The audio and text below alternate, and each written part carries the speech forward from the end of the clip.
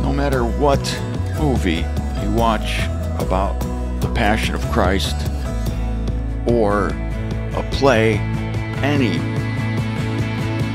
recording, any performance on the crucifixion of our Lord, without fail, when our Lord says those epic words, Father, into your hand, I commit my spirit, without fail, every single writer and producer and director has our Lord saying it this way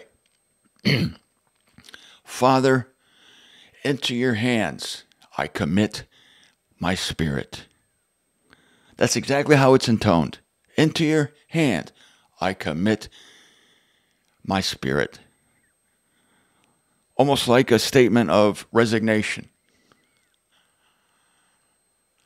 That's not how it was.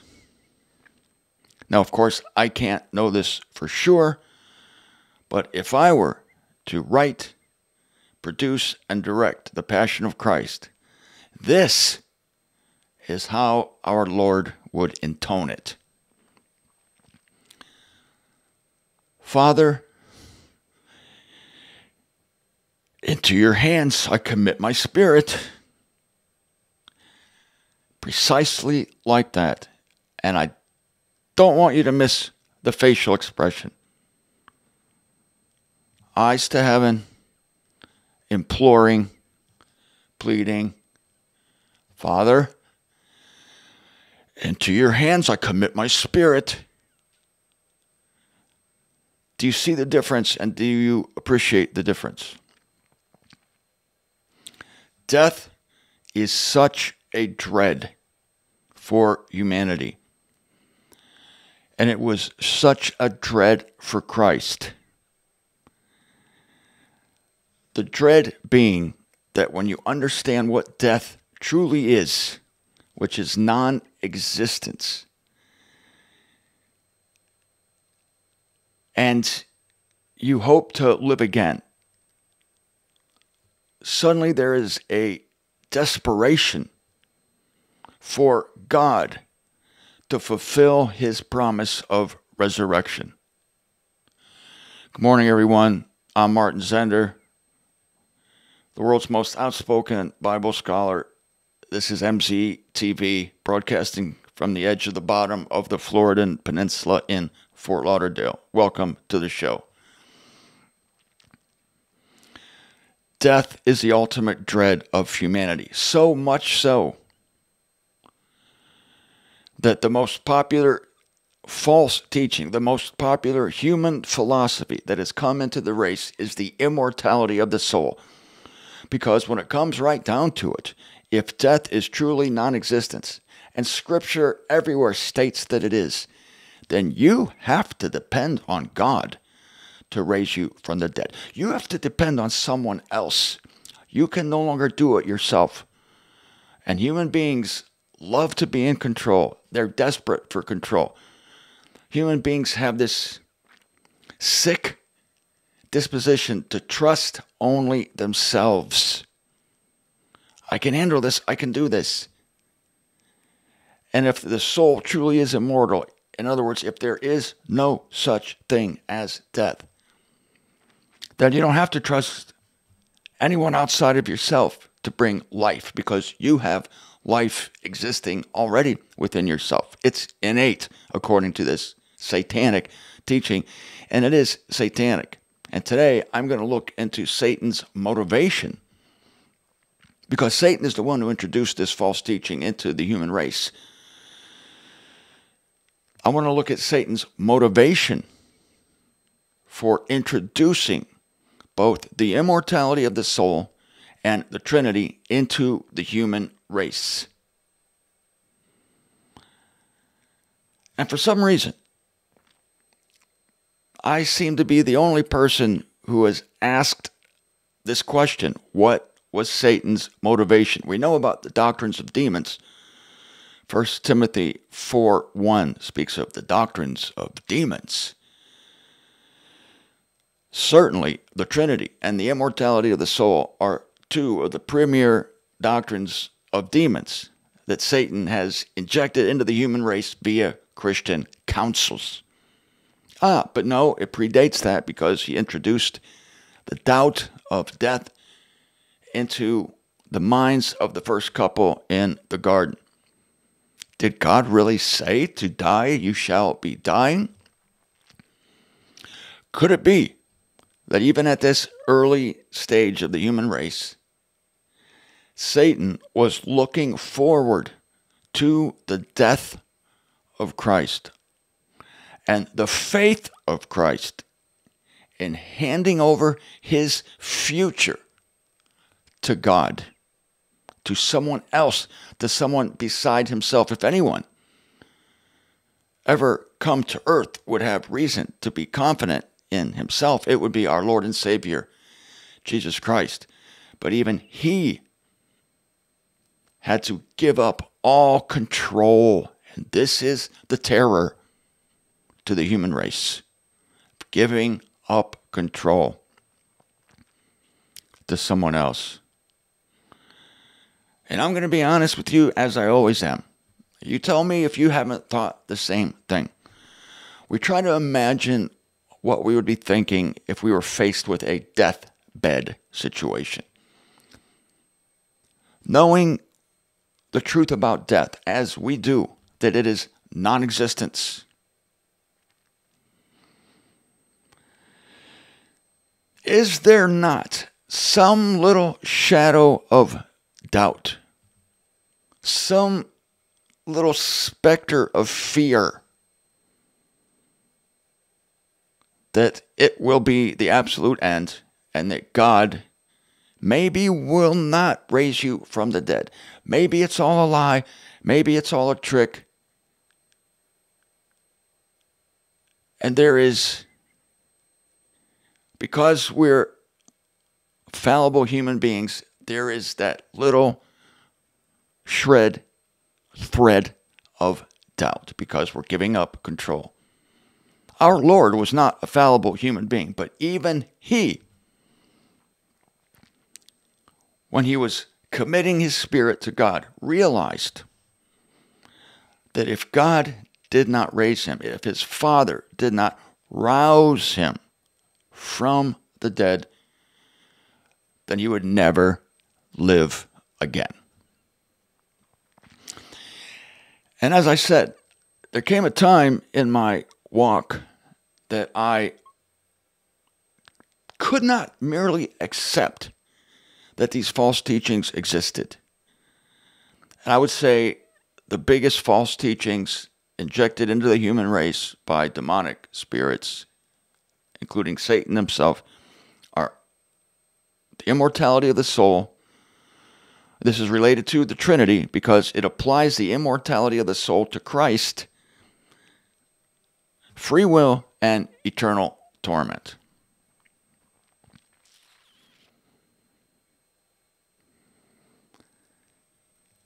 I contend to you that Satan, even in the garden, was looking ahead, was trying to inject the belief in the immortality of the soul so that human beings would not rely on God. But the most critical individual that Satan was worried about was Christ.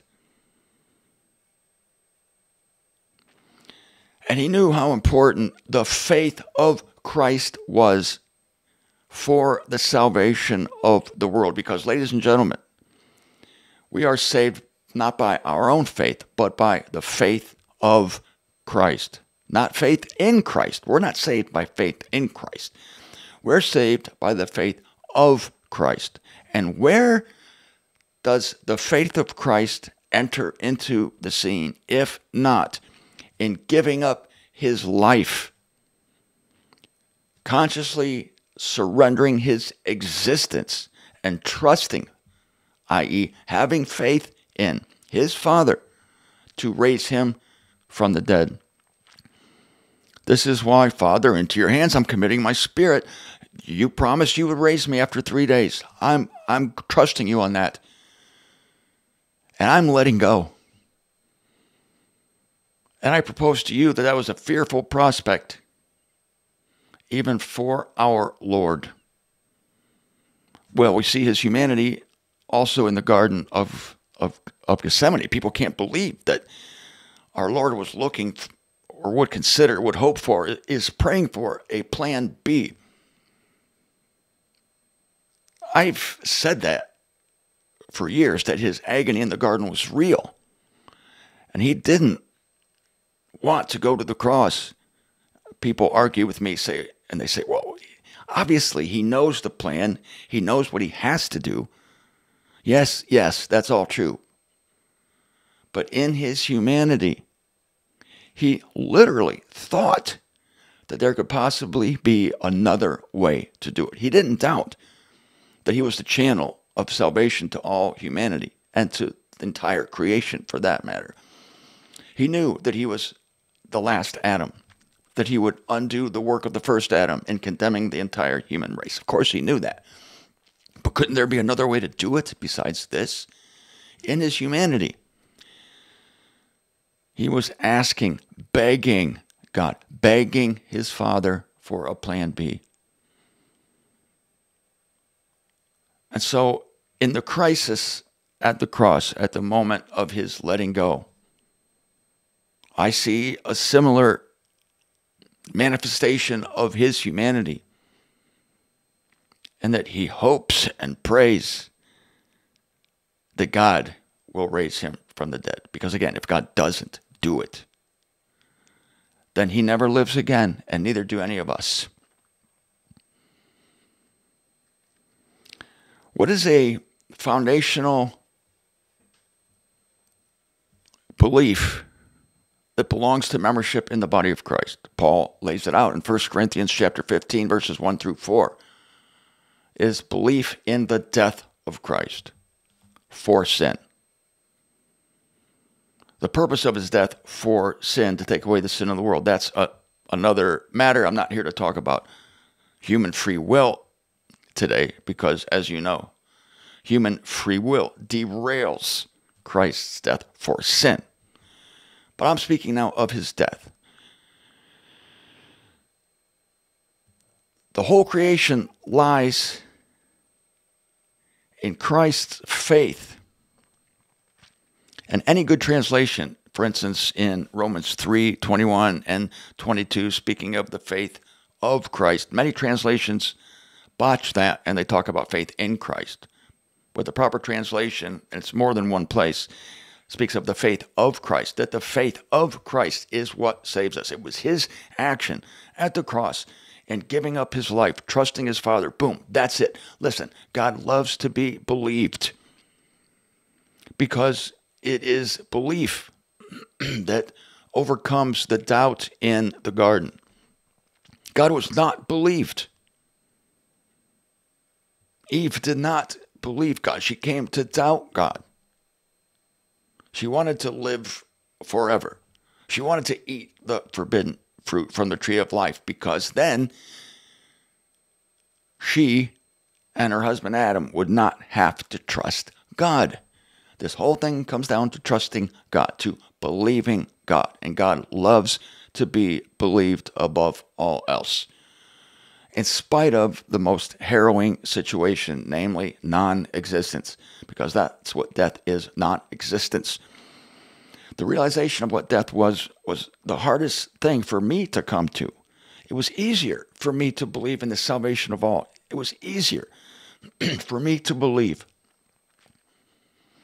that my will was not free and that it was God operating in me constantly to will and to work for the sake of his delight. But when it came down to death, that common human dread came upon me, and I did not want to believe that I actually would be letting go of my life, falling into oblivion, falling into non existence, and having to trust another to raise me from the dead. That's the crux of everything. And this is why a belief in the death of Christ, his faith in going into death, and that's where his faith is centered. His faith is centered in going into death. Of course, a related faith is that he goes to the death of the cross, not only death, but death of the most horrible sort. That because of his suffering, he would undo the acts of Adam and the acts of Satan. It required sacrifice and suffering.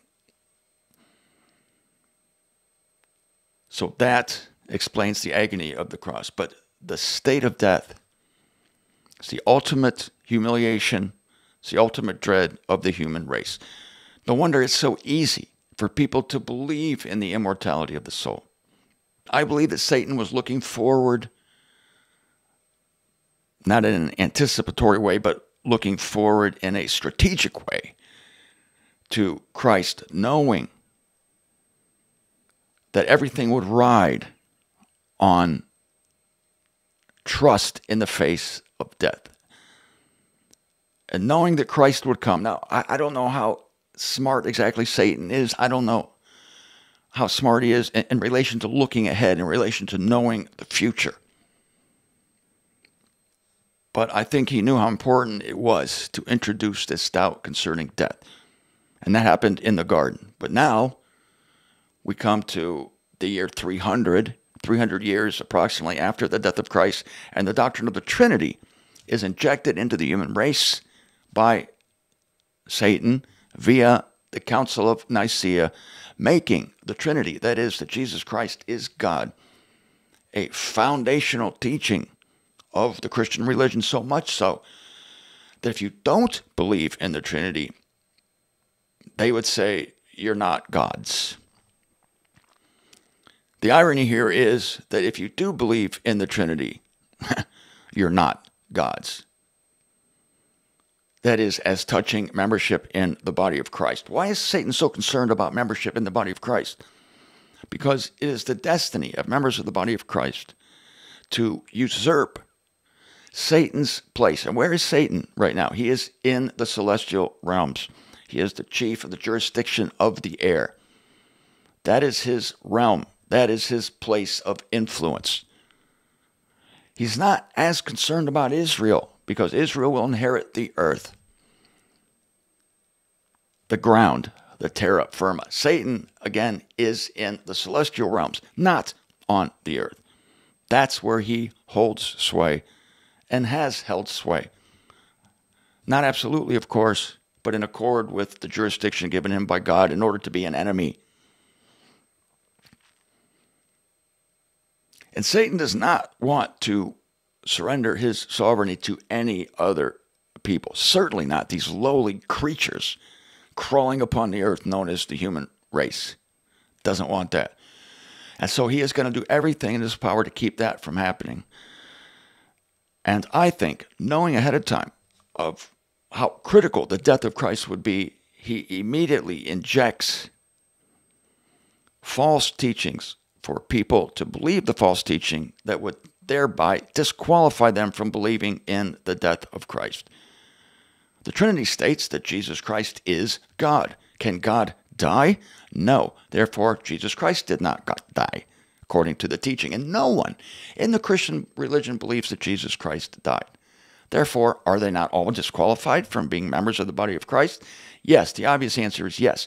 But for years, I read literature, including from the Concordant, publishing concern that said, well, you can believe in the Trinity and believe in the death of Christ. It's no problem. There's no conflict there. And I said, what?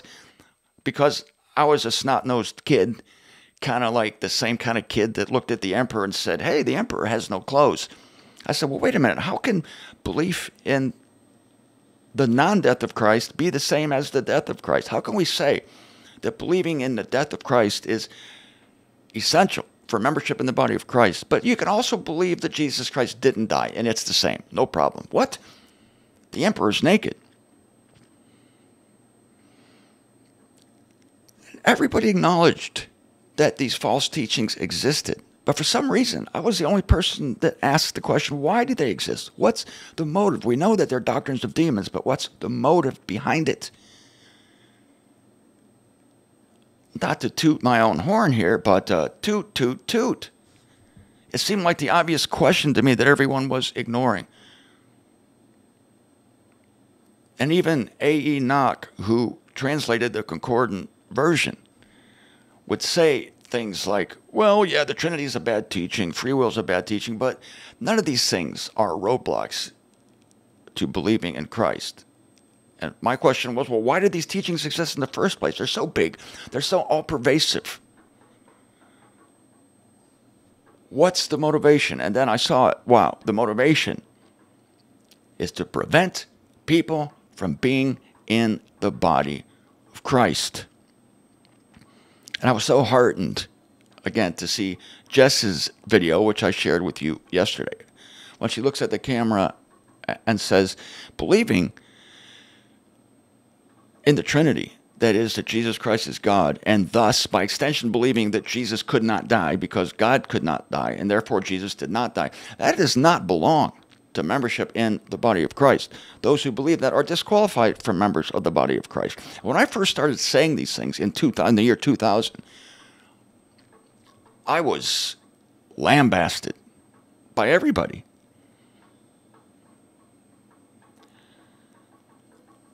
Because it seemed unfair that one little teaching could disqualify people. And people were saying of me, well, Martin Zender is saying, that you have to believe certain things in order to be saved. He's making salvation a matter of works, the works being that you have to believe the right thing. And I said, no, you got it all backwards. It's not that you, ha- you have to believe the right thing to be in the body of Christ. It's that those who are designated beforehand to be members of the body of Christ will believe the right thing. The predesignation comes first, and the proper belief comes later. There's a difference between believing truth and believing lies. I just I'm a black and white person that way. Black and white. Either you believe the truth or you don't believe the truth, and it makes a difference.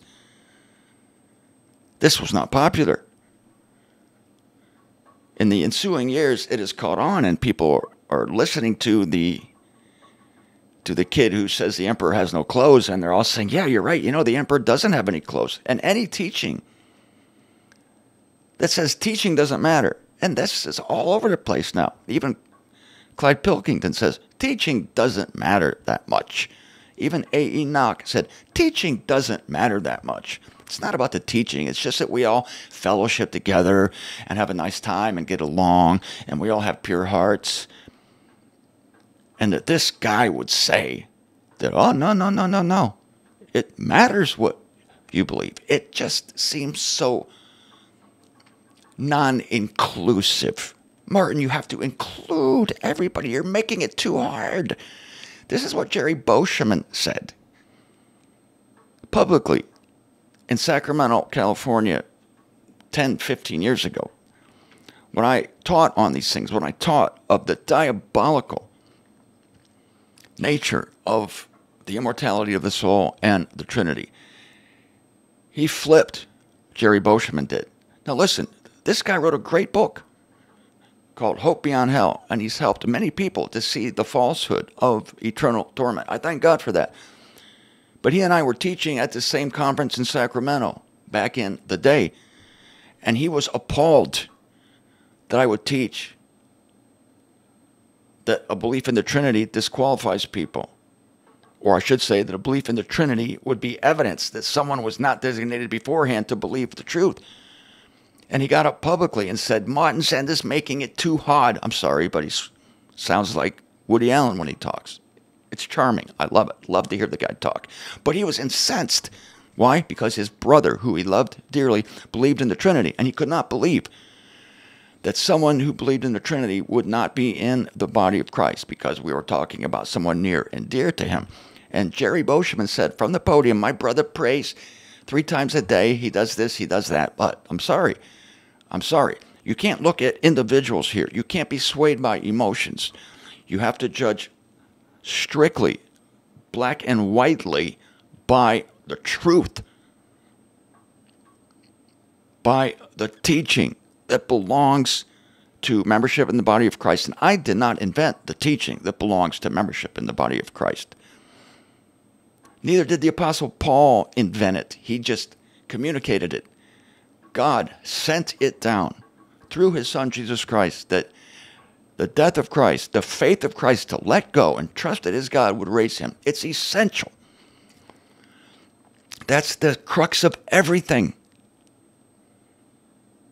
And there's no excuse, relatively speaking, not to believe in the death of Christ.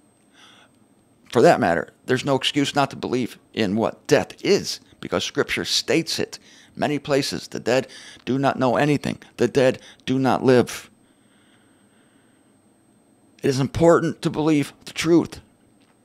It is important to suss out why Satan would inject this. What's his motive? What's his motive? His motive is to keep as many people as he can from believing in the death of Christ and therefore from becoming members of the body of Christ because we will displace him. We will usurp his power among the celestials. He doesn't want that.